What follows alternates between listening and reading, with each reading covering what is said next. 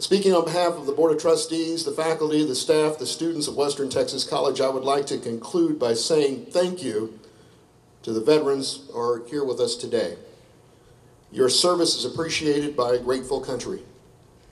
Would you please rise now as I introduce Emily Hadaway, who will lead us in a concluding song of God Bless America.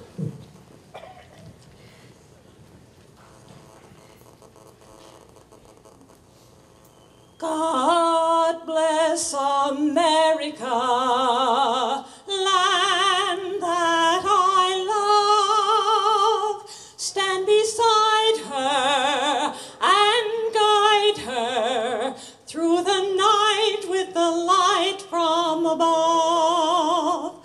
From the mountains to the prairies to the oceans white with foam.